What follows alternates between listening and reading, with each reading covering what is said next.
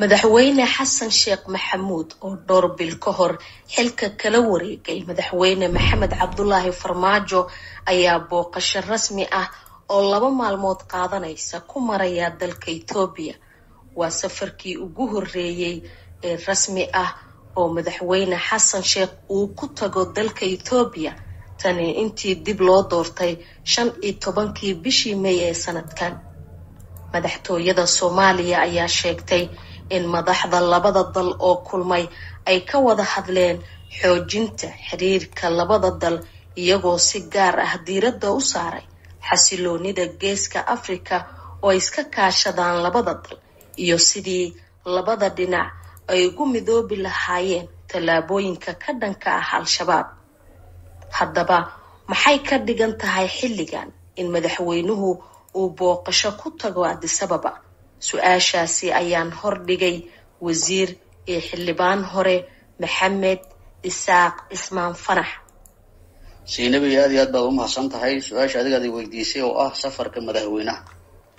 Safarka madaxweynaha jamhuuriyadda federaalka soomaaliya mudane xasan sheekh maxamuud maalinta shalay taarikh labaatan sideed sebtembar laba kun labaatan iyo laba ku tegay dalka etoobiya aniga waxaan u arkayaa mid faa'iido u ah dhammaan gobolka oo dhan gaar ahaan dowladaha soomaaliya iyo etoobiya safar faa'iido u ah. Dowladaha soomaaliya iyo etoobiya waxaa ka dhexaysa dhowr kun oo kilomitr oo haduud ah.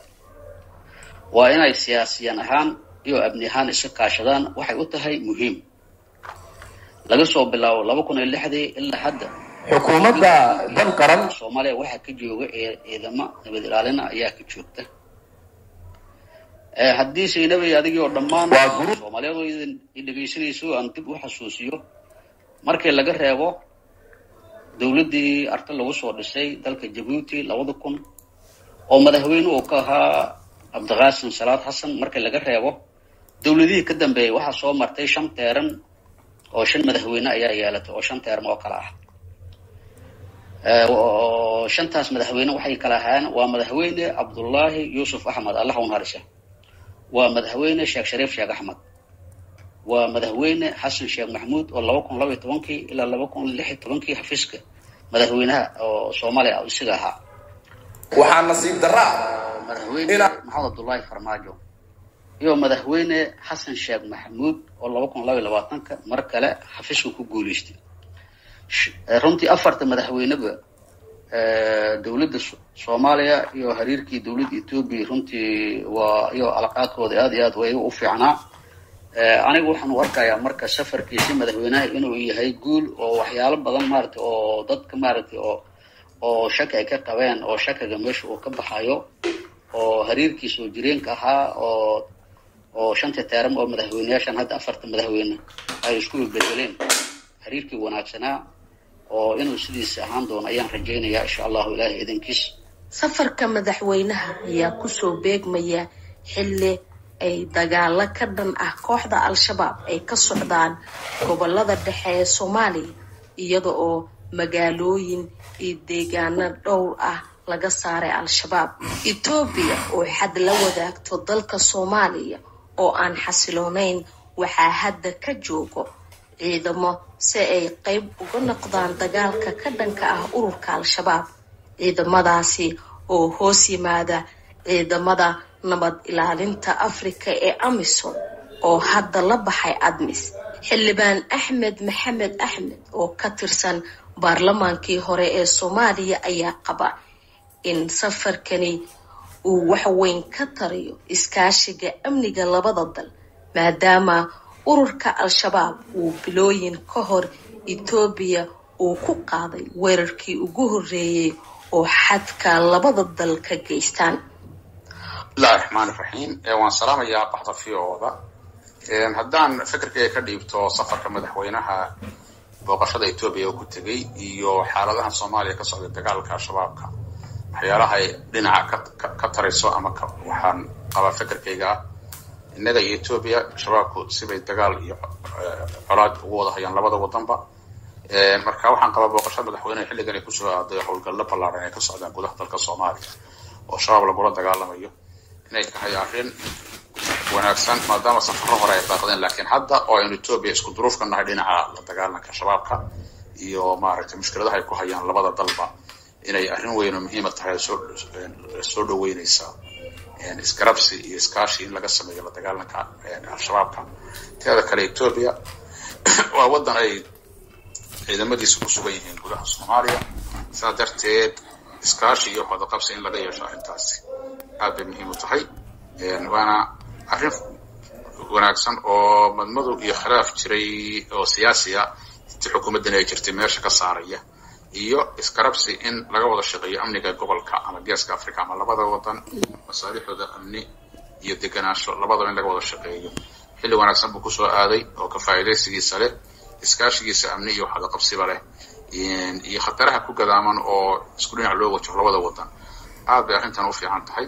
Marka waxaan qabaa inay wax weyn ka tarayso xagga amniga iyo la dagaalanka ku wajahan labada qoloba arrintan shabaabku ay ku hayaan labada gobol ee deriska ah. Ee isku si hadda cadaawadoodu ay u tahadla ama isku jeeda ka ka tahay dhinaca maaragtay qolyahan dagaalamaya. Marka waa arrin aada u wanaagsan waana mahadsantahay ugu dambeyntii wasiirkii hore ee qorsheynta ee iskaashiga ee galmudug cabdixakiin cali guure ayaa ka hadlaya kulanka labada mas'uul iyo sida uu ula muuqdo walaal waad mahadsan tahay haddaan ka hadlo kulanka labada mas'uul. Waxaa weeye soomaaliya iyo ethoobiya waa laba dowladood oo deris ah. Deegaan wadaagna ah runtii wax badanna ay maaragtay kala galeen. In muddo maaragtay aan hadda dhihi karno waa uun intii jiritaanka soomaaliya iyo ethoobiya jirayna. Cadaawad soo jirayna oo fac ka fac ilaa iyo qarni ka qarni socotay baa kullay soo dhex martay. Kulankan marka maanta ka jira ay maanta isugu yimaadeen labada mas'uulba ama isugu tageen. Waxa weeye saad la socotaan saan la soconnaba labada wadanba maanta xaalado dagaal baa ka jira. Soomaaliyana dagaal baa ka jira oo hadda waa laga arkaya xaaladda waddanku sida ay tahay. Ethoobiya sidaas oo kale dagaalaha waayahan ka socday. Weliba jabhadihii labada gees oo xoogeystay baa dagaal culus ku haya. Marka waxa weeye kollay kulankooda maantana waa un mid un xaaladda ka jirta gobolka. Waa un mid ku salaysan. Wax kastoo culays oo ku yimaada kollay geeskaana geeskaana waa laba dowladood oo kollay isku si u saameynayo. Waa beryahan dambe aawul badan baa jiray oo ethoobiya ay ka waday xagka soomaaliya. Iyo dhibaatooyin badan oo ay dooneysay ay ku hardaamiso dalka soomaaliya dowladnimadiisaba. Runtii ma suurtagelin maadaama markaas suurtageli weysay waxaa laga maarmaan noqotay markan in kulley maaragtay lees xaajo waraysto. Arrinta maanta kulankoodana kulley waa mid anugu intaan hadda aan aan maaragtay hadda aan kala socdo ama aan ka malaynayo waa mid un xaaladahaas ku qotamo weeye in masiirka guud ee dowladaha iyo dalkan iyo dadkan deegaanka ah ee maaragtay darisnimadu ka dhexeeya facaweyn leh. Kulley in bal xaaladahaas kulley si fiican laysaga waraysan doono un bay u badan tahay. Dhanka kalena culaysyo kalena waa jiraan oo qolo kasta u gooni ah. Kulley taasna waxaan is leeyahay wixii un markaas la iska dhihi karo ayaa la iska dhihi doonaa. Kulley un marna soomaaliyu ka sugi mayso ethoobiya inay janno seexinayso ama inay cadow soomaaliya haysta ay maaragtay gacan ka geysanayso inay ku soo badisa mooyaane maadaama marka ethoobiya xaggeeda aysan ka jirin wax wanaago annago hadda ka filayno waa kulley xaalado un maaragtay isbeerbeersaday oo gobolka maaragtay ka soo kordhay in la iska xal waraysto un maaragtay uu ku qotobaa kulankaasu. Sidaasana ay muuqataa aragtiyaan. Intaasaan soo koobaya si kastoo ay ahaato inta badan gobollada dalka soomaaliya waxaa ka socda howlgallo ay wadaan ciidamada militariga oo ka dhan ah ururka al-shabaab